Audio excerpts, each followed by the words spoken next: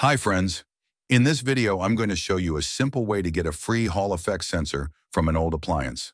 This method is perfect if you're into electronics or DIY projects and want to save money by recycling components. Look for an old or non-working 12-volt DC exhaust fan, commonly found in computers, power supplies, or other cooling systems. These fans are an excellent source for Hall effect sensors.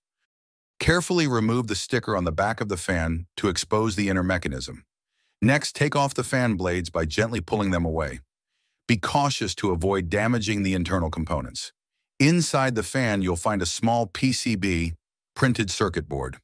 This circuit board contains a Hall effect sensor, which is used to detect the position of the rotating blades. On the PCB, locate the Hall effect sensor. It's typically a small black rectangular component with three or four pins. Using a soldering iron, carefully unsolder the sensor from the PCB. Take your time to avoid overheating or damaging the component. Congratulations!